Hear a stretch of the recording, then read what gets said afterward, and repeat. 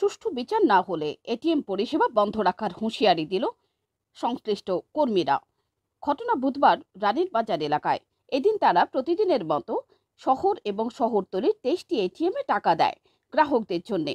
জরুরি এই পরিষেবা লকডাউনেও বন্ধ থাকবে না, কারণ এটি লকডাউনের আওতার বাইরে রয়েছে। এদিন এটিএমে টাকা দেবার জন্যে তারা যখন যাচ্ছিলেন, তখন চালক, বেসরকারি রক্ষী সহ পাঁচজন ছিলেন তারা। বিপত্তি মাঠে রানীর বাজার এলাকায় ঢোকার পরই অভিযোগ, সেখানে গাড়ির হর্ন বাজাতেই কয়েকজন সিভিল ড্রেসে এসে গাড়ি আটকায় এবং কেন হর্ন বাজানো হলো তা জানতে চেয়েই এটিএম পরিষেবা দানকারী গাড়ির ওপর আক্রমণ করে বসে। খাকি পোশাকেও তিনজন নিরাপত্তা রক্ষী জানতে চায় যে কেন তারা হর্ন বাজিয়েছে। এও অভিযোগ, গাড়িতে থাকা লোকেদের হেনস্থাও করা হয়। কোনো ক্রমে তারা সেখান থেকে অন্যত্র চলে যান এটিএমে টাকা দেবার জন্যে। ঘটনার সুষ্ঠু বিচার চেয়েছেন তারা। আমরা কালকে তো আর রোজানা আমরা যে ডিউটি করি ব্যাংক পরিষেবা থেকে আমরা ব্যাংকে এসবিআই মেলানো মাঠ আর কামান চৌনি, সূর্য চৌনির মাঝখানে যে ইউবিআই আছে, দুইটার থেকে টাকা নিয়ে আমরা প্রায় তেইশটা এটিএমের টাকা ডেলিভারি করি তো আনুমানিক দুইটার থেকে আড়াইটা বাজে ওই সময় আমরা রানীবাজার খুব ভিড় দেখে গাড়িটা থামাইলো। গাড়িটা থামানোর পরে গাড়ি হর্ন দিল তারা ভিড় সরে না। ওই নিয়ে তারা তিন চারজন আওয়ার পরে বলে "এই, কেন হর্ন দিচ্ছ? এই সেই করে তারা গরমাগর্মি হয়ে প্রথমে কী করল ড্রাইভারের একটু ধাক্কা দিয়ে গাড়ির চাবিটা নিয়ে নিল। তারপরে আমি একটু প্রটেস্ট করলাম যে এটা ব্যাংকের এটিএমের গাড়ি। তারপরে তারা কি করল গাড়ির জ্বালানা দিয়ে এই আমাদের নেটের গাড়ি জ্বালানা, এই নেটের মধ্যে তারা তিন, চারবার খুব জোরে জোরে লাঠি দিয়ে প্রেশার করছে এইভাবে। তারপরে তারা লেফট সাইডে আয়েসেরা দরজা খোল দরজা খোল মাদার চোখ দরজা খোল। তিন, চারবার বলার পরে আমরা আতঙ্কিত হয়ে সেটা দরজা খুলছি। আমি রাইট সাইডে বসি, আমার লেফট সাইডে দুইজন। দুইজনকে ডিঙায়া গাড়ির ভিতরে তারা সাদা একটা স্টিক দিয়ে মারতে শুরু করল, চার, পাঁচবার মারলো, তিনটা বাড়ি আমার হাতে লাগল। তারপরে বলে, নিচে নাম, আমাদের স্যারকে পায়ে ধর।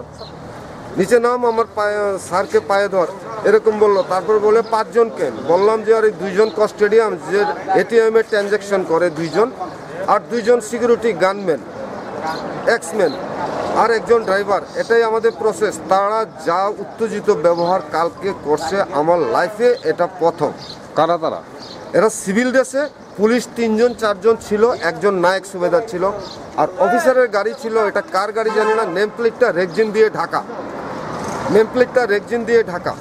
তারপরে ওখান থেকে আমরা কোনো মতে ভাই নিজেরার মানে এত আতঙ্কিত কোনো মতে এখান থেকে সাত আট মিনিট তারা এই অপারেশন করার পরে আমরা এখান থেকে গাড়ি মুভ করার পরে প্রথম গেলাম খুমলুং।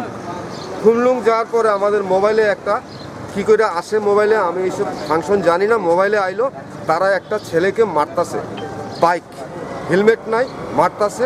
পাশে একটা ফল বিক্রি করে একটা লুকে তারা স্ন্যাপ নিতেছে তারা দৌড়ে এরে গিয়া যে সময় মারতাছে তখনই চিনলাম আর এই তো এই- দুজন এই দুজন সাদা শার্ট পরা একদম ইয়ং ছেলে।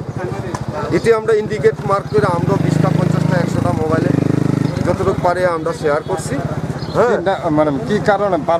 কারণ শুধু আমরা তাদেরকে ডিস্টার্ব করছি তারা রাস্তা ভিড় করে রাখছে কেন আমরা গাড়ি হর্ন বাজাতেছি কেন আমরা তাড়াতাড়ি কেন পাঁচজন বইছি এই ধরনের উক্তি নিয়ে তারা কিন্তু আমাদের ওপরে এত বড় মিসবিহেভ করছে যেটা হয় না। এটা অনেক আগে ক্লাবের পিটাপিটিতে মাছ পিটা হইতো। কালকে তারা ওই সিনটা কালকে তারা ক্রিয়েট করছে। আপনারা কোনো এফআইআর করে না এফআইআর আমরা তো ভয়ে এত আতঙ্কিত। আমরা রানীবাজার গেলে হয়তো আমরা তারা আবার অ্যাটাক করব। তারা এই ধরনের সিচুয়েশন হয়ে রয়েছে তারা। তারপরে ওই যে ফলের দোকানের লোকটারে মারলো স্ন্যাপ নিছে। তার উপরে তো এরকম ভাবে মারধর করল। ওটা তো আমরা পাওয়ার পরে আমরা ইন্ডিকেট করছি এই দুইজন। এখন কি আপনারা এফআইআর করবে আমরা তো এফআইআর করুন প্লাস আজকের থেকে আমাদের ব্যাংকের এটিএম পরিষেবা টোটালি স্টপ আমরা করব না যদি এটার সুষ্ঠু বিচার না হয়। ঘটনা চাউর হতেই চাঞ্চল্য ছড়িয়েছে। প্রশ্ন উঠতে শুরু করেছে সিভিল ড্রেসে থাকা ওই লোকজন তারা কারা? আর যদি তারা নিরাপত্তা রক্ষী হন তবে জরুরি এই পরিষেবায় ব্যাঘাত কেন ঘটাতে চাইছেন? পেছনে অন্য কোনো কারণ লুকিয়ে নেই তো? দাবি উঠেছে ঘটনার সুষ্ঠু তদন্তের পিওর রিপোর্ট চ্যানেল দিন রাত।